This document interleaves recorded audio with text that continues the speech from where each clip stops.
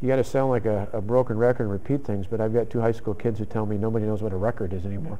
So I sound like a repeating iPod or a scratch CD or something like that. But the, uh, but the, the fact of the matter is we're going to stay consistent uh, no matter how long it takes. Obviously, would I like it to make the tough decisions now?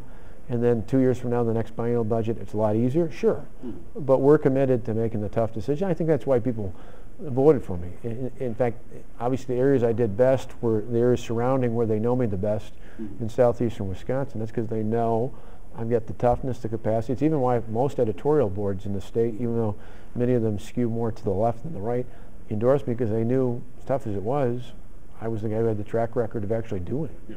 Is, uh, so voters responded to a message in, in which somebody actually said, sorry guys, got to cut things. Austerity is in. Who would have thought it? Uh,